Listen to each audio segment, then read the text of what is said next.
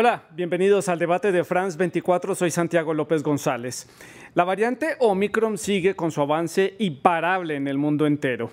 El aumento de los casos de contagio ha subido de manera estrepitosa, afectando principalmente a Europa, a Estados Unidos y también al continente asiático. El efecto de la ola de contagio debido a la variante Omicron ha provocado que las economías globales registren récords de alza en los precios al consumidor. Hay también escasez de productos, se mantiene ese desorden que hay desde hace ya un, más o menos dos años en la cadena de suministros y la inflación se siente en prácticamente todos los países en diferentes aspectos. Eso en cuanto a la economía, pero esta ola de contagio de Omicron también ha afectado a la industria aérea que intentaba volver a retomar el vuelo en plena capacidad, aprovechando la alta temporada de fin de año que resultó con un caos para los pasajeros, con miles de vuelos cancelados por falta de tripulaciones, por falta de equipos de vuelo en óptimas condiciones tras permanecer meses en tierra. Incluso la suspensión de los vuelos desde y hacia Estados Unidos ha generado uh, grandes problemas para las aerolíneas, teniendo en cuenta que este es un importante mercado para la explotación en términos mm, de números de pasajeros y de carga transportada alrededor del mundo. La industria aeronáutica volvió a verse seriamente afectada por la pandemia pese a la reactivación, o en la pandemia estamos hablando de este rebrote de Omicron, también la retoma de algunas rutas y de las frecuencias que había por allí queda sobre la mesa. ¿Qué tan alto ha podido volar esta industria? ¿Qué tan alto ha tenido que eh, moverse esta industria para poder sobrevivir con las dificultades que se le están presentando en el panorama? Tan alto como la inflación que se le está presentando a varios países, principalmente en nuestra región. Hablaremos de algunos casos en particular. Dos temas que aparentemente son lejanos, pero que están ligados a un factor común y es la pandemia del COVID-19 y este rebrote de la variante Omicron. Hoy en el debate de France 24 analizamos el impacto de la inflación a nivel mundial y también le damos un vistazo a la industria aeronáutica internacional. Para analizar este tema hemos invitado a María del Pilar López Uribe, ella es profesora e investigadora investigadora de la Facultad de Economía de la Universidad de los Andes en la ciudad de Bogotá, en Colombia. Ella también es doctora en Desarrollo Económico de la London School of Economics y se une a esta conversación desde la ciudad de Bogotá, la capital colombiana. También está con nosotros Enrique Perella, él es editor de Airways Magazine, una publicación que está enfocada en la industria aeronáutica, también es piloto comercial. Ustedes, nuestros televidentes, pueden participar en este debate con sus comentarios y sus preguntas. Lo pueden hacer a través de nuestras redes sociales. Nos encuentran en Facebook, en Instagram y en Twitter. Estamos como arroba 24-es, arroba Santilogo, que es mi cuenta personal.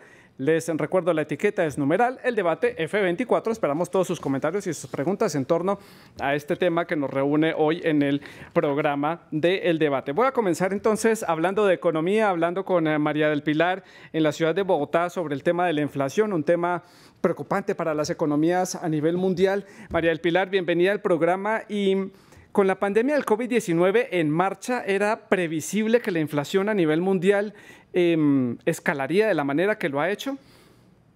Hola Santiago, em, gracias por la invitación. Un poquito para hablar de este tema de em, qué tan previsible era que, la, que la inflación, digamos, aumentara y siguiera el ritmo. Pareciera que sí, porque eh, a diferencia de las otras olas inflacionarias, la actual, digamos, tiene un factor común que es para todos los países y además es multicausal, ¿no? No, no hay una única razón que la está explicando. En parte, un pedazo viene, viene como consecuencia de ese acelerado aumento del consumo que se dio en el 2021, luego de que muchas familias empezaran a gastar mucho menos durante todos los confinamientos y en los momentos más difíciles de la pandemia, que contribuyeron a aumentar los precios e hicieron que la demanda se acelerara y la oferta no pudiera responder al mismo ritmo. Esto llevó a, digamos, unos problemas logísticos muy importantes. Este aumento en la demanda Em, de consumo provocó, por ejemplo, escasez en los inventarios eh, y repentinamente el, transporte, por ejemplo, el transporte marítimo, en marítimo en los puertos no pudieron manejar y fueron capaces de manejar este incremento en la demanda y en el volumen. Esto generó congestión en rutas de comercio mundial algunos puertos estuvieron bloqueados sin, por ejemplo, trabajadores suficientes para cargar y descargar eh, los barcos y eso también hizo que aumentara el precio, el precio, em, el precio de los fletes. Entonces, eh, esto por un lado, ¿no? Eh, llevó a un, a, un, a, un, a un, aumento importante eh, por esos problemas logísticos. Luego hay otros factores adicionales. Está por, por, otro lado la escasez de mano de obra en los países desarrollados. Hay otro tema de, por ejemplo, faltas de insumo eh, para, para la fabricación de carros, de computadores, de celulares. Adicionalmente a eso, tenemos un, un tema de la cantidad de dinero, este aumento sustancial de dinero que inyectaron las economías en, en los momentos, en estos, estos históricos paquetes de estímulo fiscal que se dieron, eh, que fueron entregados por los gobiernos para mitigar todos los estragos que se, que se, que se pudieron causar durante la pandemia. Entonces, al final, tenemos que, eh, hay un factor común para todos los países, digamos, esto es algo que se repite consistentemente, quizá el tema de la escasez de mano de obra no, pero los demás sí, y el aumento en la inflación va básicamente manejada o va conducida por un aumento en precios de energía y en precios, y en precios de alimentos.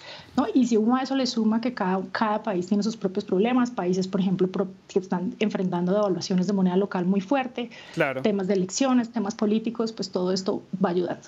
Eso nos sirve de contexto para entender por qué estamos eh, presenciando esta alza en eh, inflación. En algunos países unas alzas históricas, sobre todo, ya lo decíamos, ha afectado a Estados Unidos, a los países europeos y pues por supuesto la región de América Latina y el continente africano también se han visto afectados. Cruzo al otro tema mm, que vamos a llevar en paralelo aquí en el debate y converso ahora con Enrique eh, para hablar de aviación, para hablar de esta industria importante, también fundamental para reactivar la conectividad entre las regiones de después de haber estado en un confinamiento tan largo y prácticamente aislados en nuestras casas mm, en los diferentes rincones del planeta. Enrique, también lo saludo, bienvenido al programa, como siempre un gusto tenerlo con nosotros. Y mm, cuando pensábamos que por fin ya comenzaban a despegar los aviones en forma y a reactivarse la industria aérea, llega la variante Omicron y vuelve a dejar a cientos de aviones en los aeropuertos, tripulaciones alejadas de los aeropuertos por estar contagiadas y lo peor, carga y pasajeros en tierra sin poder ser transportados.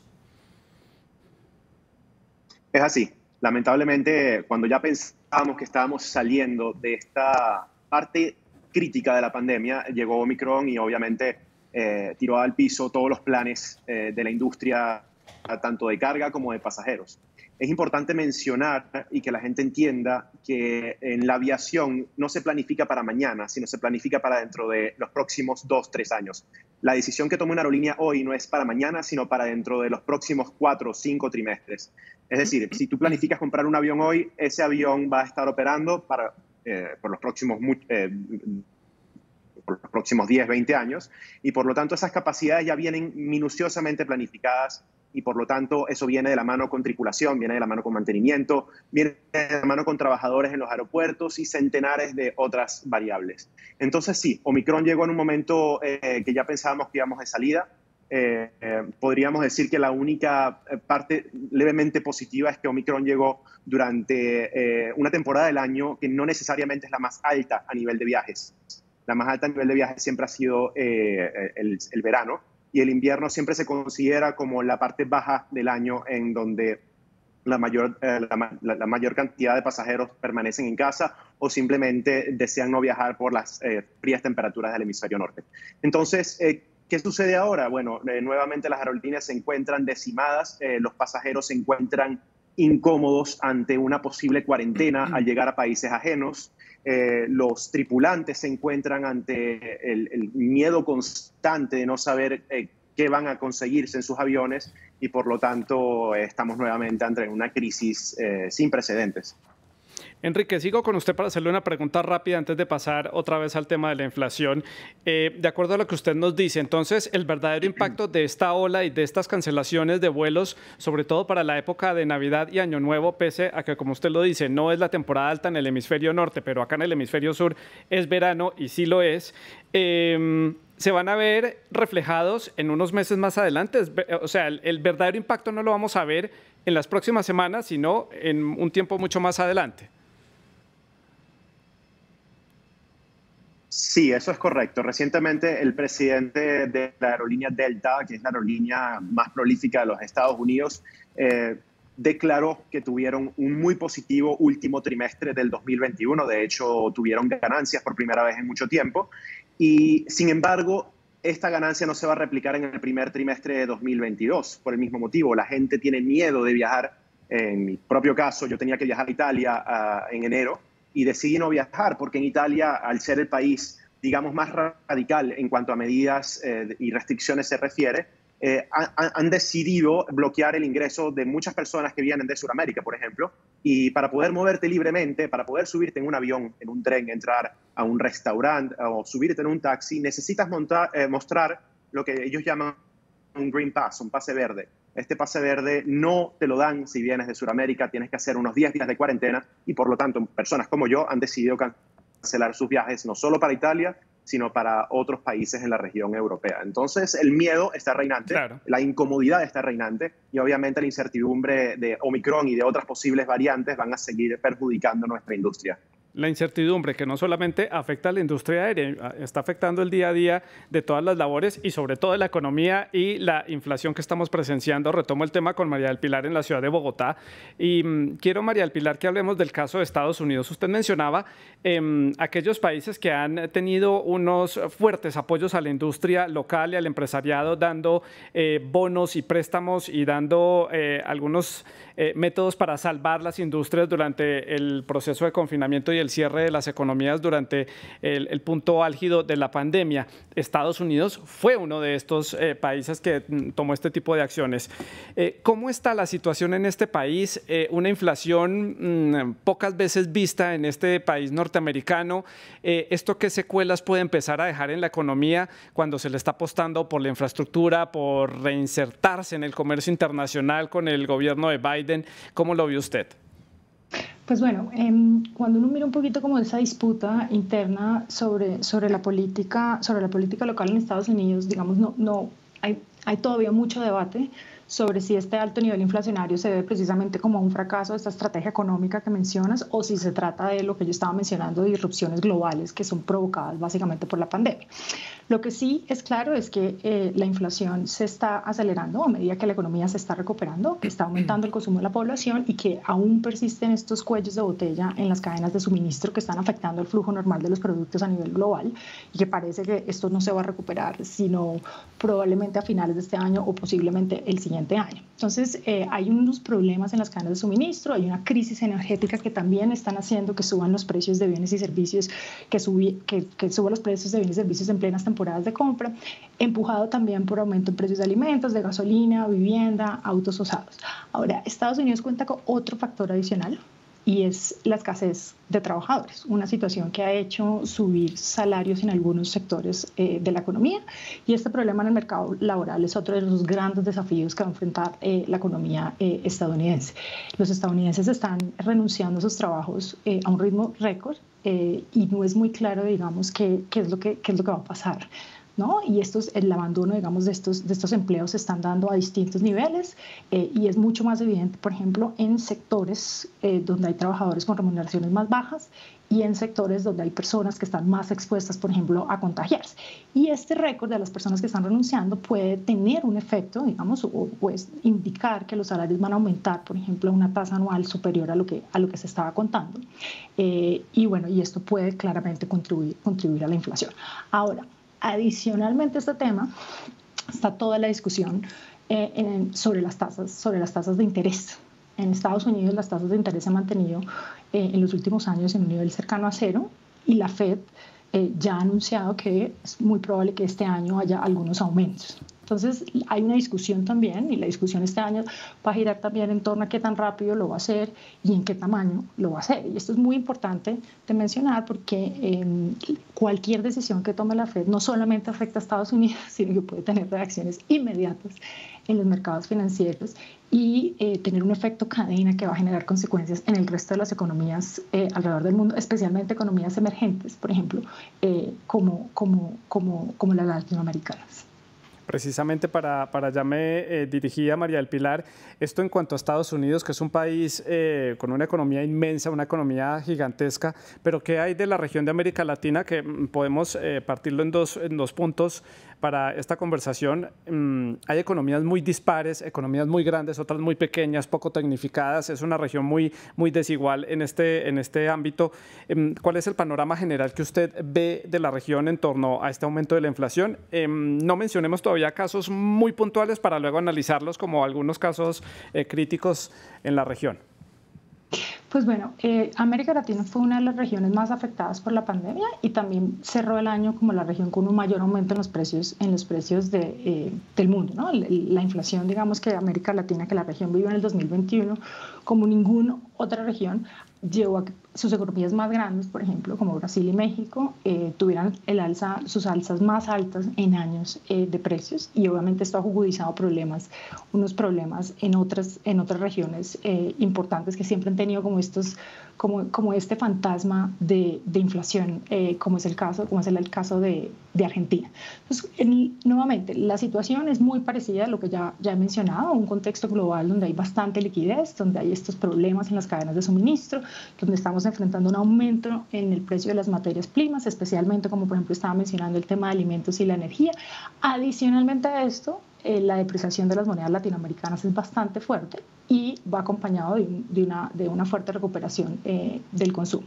Entonces, en el caso latinoamericano, comida, gasolina, gas, energía están, son los que están empujando eh, las, subidas, las subidas inflacionarias. ¿Cuál es el problema? Pues que estos son productos de primera necesidad y son las familias más vulnerables las que van a sufrir los efectos más duros em, en el costo de vida. Ahora, las mayores economías de la región están tratando de controlar, de controlar este aumento en el precio a través del mecanismo más tradicional, que es el aumento, es el aumento de, las, de, las tasas, de las tasas de interés. Y esto va a hacer que el aumento de las tasas de interés va a aumentar el costo del dinero, que esto va a tener un efecto eh, importante en, en la desaceleración económica Em, y bueno, sabemos que unas tasas más altas implican, por ejemplo, costos de financiamiento más elevados eh, para economías emergentes, en el caso de que Estados Unidos, por ejemplo, subiera sus tasas, en particular como es en el caso de América Latina, aquellas que tienen deuda en dólares Muchos de esos países, por ejemplo, en, en, la región ya están rezagados en relación a la recuperación, una recuperación económica global que se está dando. Y por tanto, cuando se vayan a subir estas tasas en, en, la, en Estados Unidos, que implican costos de financiamiento más altos, em, pues van a tener una menor capacidad para, para, absorber unos gastos adicionales que se vienen. María del Pilar, dejamos sobre la mesa, em, retomo la conexión con Enrique, pero dejamos sobre la mesa para que estemos em, conectados. El caso de Venezuela el caso de Argentina y, pensemos en otro caso que usted quiera destacar para la siguiente pregunta para que analicemos esos, esos tres casos puntualmente. Retomo la conexión con Enrique mm, para seguir hablando de la industria aeronáutica que mm, le ha dejado cerca de 202 mil millones. Eh, es lo que le ha dejado, lo que le ha costado la pandemia del COVID-19 a la industria aeronáutica desde que comenzó la crisis sanitaria a nivel internacional. Eh, ¿En qué aspectos ha afectado, más allá de la parte económica y las pérdidas, qué otros aspectos se han visto mm, seriamente afectados en esta industria? ¿Qué ha cambiado en la industria aérea en estos dos últimos años de pandemia, Enrique? Santiago, es importante recordar que la aviación existe gracias a, las personas. La aviación mueve el mundo, mueve las economías y sin las personas disponibles para viajar y sin las personas disponibles para volar los aviones, hacerles servicio, vicio, eh, etcétera, etcétera, es muy difícil que las economías se recuperen a nivel mundial. Entonces, ¿qué significa eh, el alto de tantos aviones alrededor del mundo en tantos aeropuertos? Pues significa pérdida de trabajo, significa que las aerolíneas no van a tener la liquidez para seguir creciendo. Al final, eh, cuando una aerolínea crece, hay más oportunidades de trabajo tanto para pilotos, tripulantes, inclusive personas de, bajo nivel de preparación. Entonces, al final todo eso se traduce en que el mundo se va a mover con menos facilidad, el precio de los boletos va a seguir subiendo, porque mientras menos vuelos hayan, más altos serán los precios de los boletos y por lo tanto va a haber menos oportunidad para más personas de volar. Entonces, es una crisis que va a seguir presente por los próximos años, ya que las aerolíneas venían con un alza, eh, con un crecimiento impresionante en los últimos 10 años y de un día para otro, en marzo del 2020, eh, todo esto se vino abajo. Los, aviones tuvieron que eh, dejar de ser producidos, dejaron de fabricarse, dejaron de entregarse y por lo tanto todas las predicciones que habían hecho en los años 2012, eh, 2013 en adelante, pues han tenido un, un alto bastante brusco. Entonces, como te mencioné, la, la expectativa es que el primer trimestre del año que viene va a ser fuertemente afectado por Omicron y quién sabe otra variante. Eh, sin embargo, ya con las vacunas más al alcance de todos los pasajeros y tripulantes, pues esperemos que los gobiernos encuentren una manera más equitativa de cómo tratar a los pasajeros internacionales que entran en sus países, porque eh, en este momento ese es el problema más grande, que no hay, eh, una, no hay una cooperación igualitaria entre todos los países y por lo tanto unos toman unas decisiones que afectan a otros y las aerolíneas están en el medio esperando esperando las decisiones que sean todas iguales. Las restricciones que ponen los, los gobiernos con, con, el ánimo de mitigar el impacto de la pandemia y también yo le sumaría el alto precio del petróleo, ya están máximos similares a los del 2018.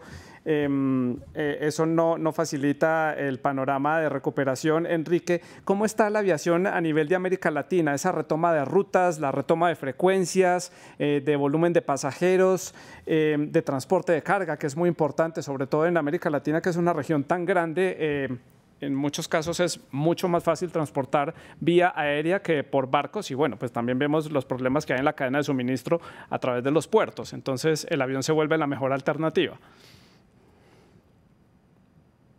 Claro, históricamente eh, la aviación latinoamericana depende mucho de la norteamericana. ¿Por qué? Porque los vuelos del sur al norte, eh, dado que son vuelos tan largos, de, seis horas a nueve horas eh, de, duración, ellos cuentan mucho con la carga. Y tal como lo mencionó la doctora, la carga se ha visto mermada en estos tiempos porque no hay suficiente personal para poder manejar esa carga, subirla en los aviones, descargarla en los Estados Unidos han habido retrasos importantes en las aduanas, tanto en Latinoamérica como en el norte, y a su vez la falta de tráfico del norte hacia el sur ha causado que en el sur, en Sudamérica, se, se vea una, una disminución importante en el tráfico de pasajeros. Ahora, Brasil eh, ha mantenido su tráfico eh, relativamente estable en los últimos, los últimos seis meses. Los últimos seis meses han sido algo positivos alrededor del mundo, ya que, como lo mencioné anteriormente, la vacunación ha sido un poco más asequible para todo el mundo. Sin embargo, sigue esa incertidumbre y las aerolíneas no están apostándolo todo a, aumentar el tráfico en este momento, a retornar muchos aviones a servicio, porque están a la expectativa de qué pueda suceder a nivel sanitario, tanto en el sur como en el norte. Sí. María del Pilar, retomo la comunicación con usted. Teníamos pendiente analizar eh, el caso de Venezuela, Argentina. Los pongo sobre la mesa porque llama la atención que Venezuela eh, salió de la hiperinflación que ha venido presentando los últimos años, tiene una dolarización prácticamente mm, de facto en muchos aspectos de su economía y Argentina venía enormemente endeudada antes de empezar esta crisis sanitaria y con muchos problemas económicos. ¿Estos países cómo están enfrentando esta crisis de inflación que enfrenta el mundo entero por la pandemia?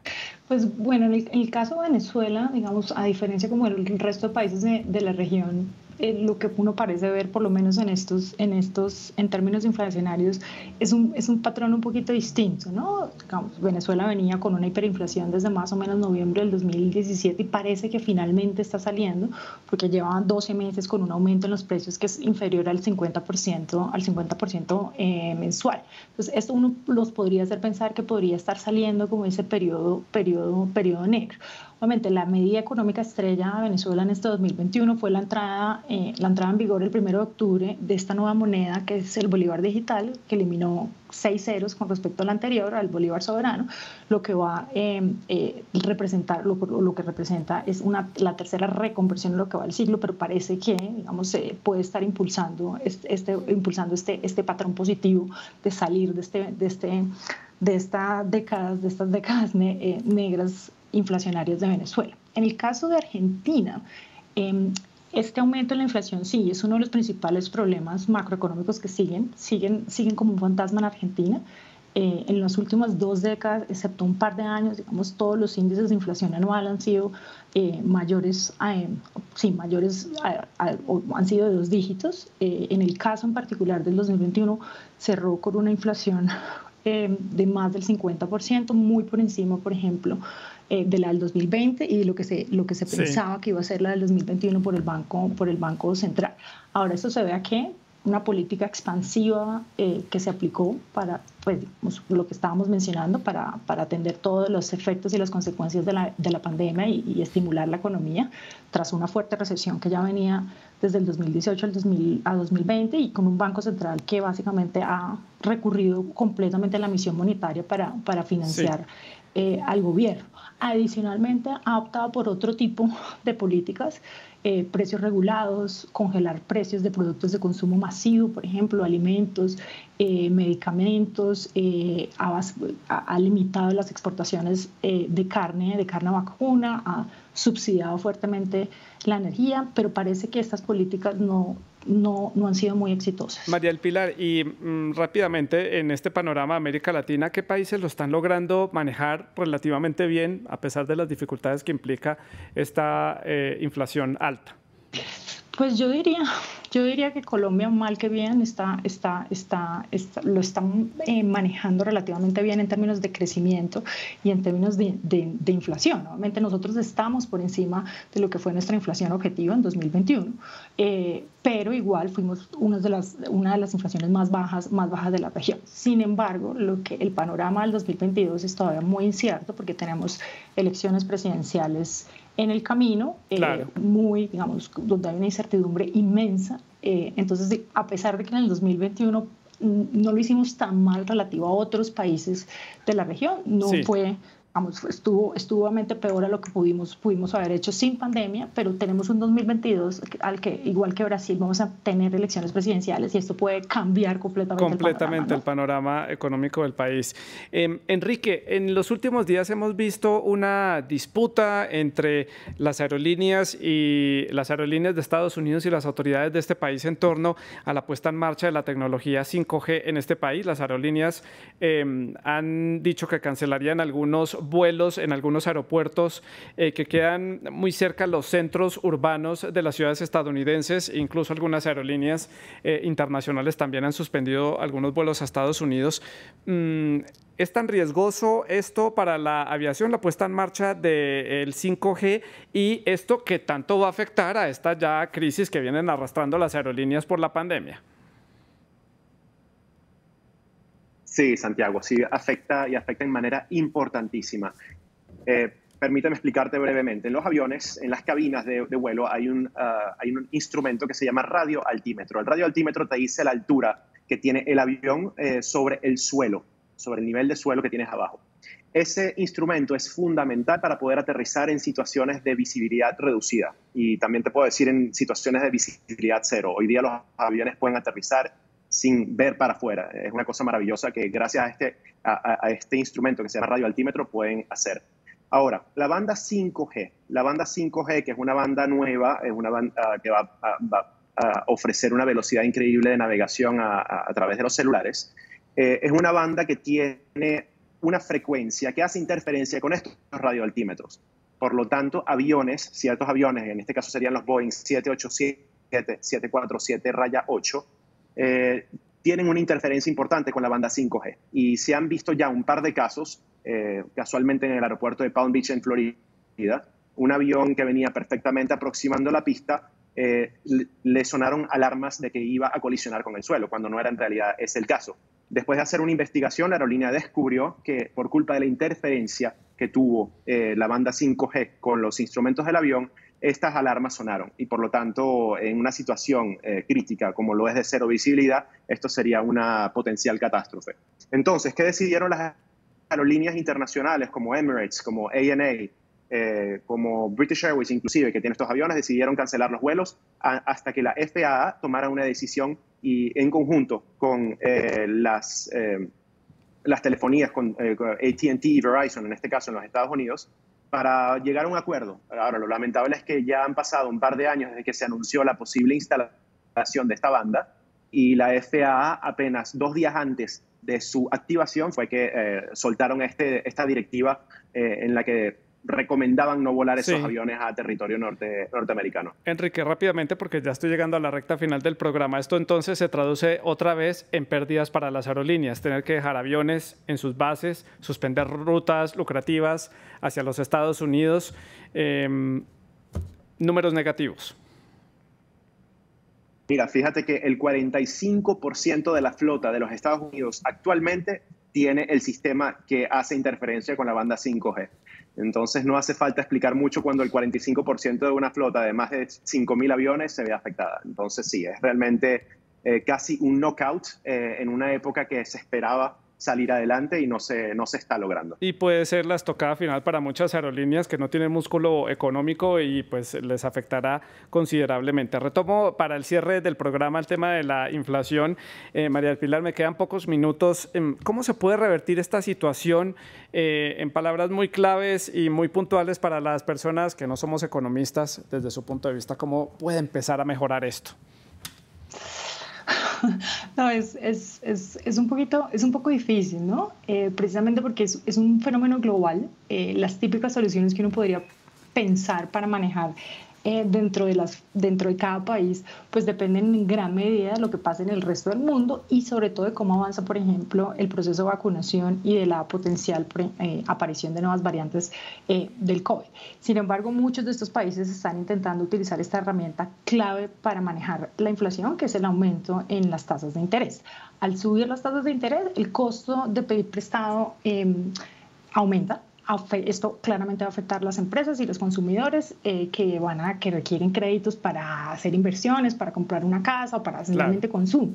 Entonces, el problema es que cuando las economías recién están tratando de levantar la cabeza después de, estas, de esta recesión, em, pues esto es, un choque, las tasas de intereses más altas no van a ayudar a apuntalar la, la, la la recuperación. De todas formas, la subida en las tasas es la forma más directa de controlar las presiones inflacionarias y muchos países están recurriendo a esta medida, incluido Estados Unidos, que parece que lo va a hacer a lo largo del 2022, y países eh, de, lo que, de, América Latina, donde los bancos centrales ya han empezado a subir las tasas de interés a toda velocidad para frenar y para detener, para detener eh, eh, los precios. Sí.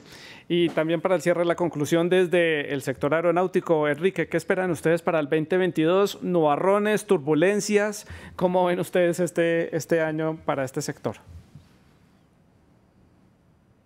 Muy difícil predecirlo, Santiago, hasta que los gobiernos no se pongan de acuerdo y los reguladores no se pongan de acuerdo. Yo creo que es realmente difícil eh, ser muy optimista. Yo sí creo que eh, el nivel de vacunación ha sido muy, muy efectivo y sí creo que las aerolíneas ya han tomado lo suficiente, las suficientes medidas para tratar de no aglomerar tantas personas dentro de los aviones y hacerlos sentir incómodos, pero nuevamente todo depende de la política, todo depende de eh, las decisiones sanitarias que tome cada país para que esta industria, que es tan importante y tan vital para el mundo entero, eh, pueda salir adelante.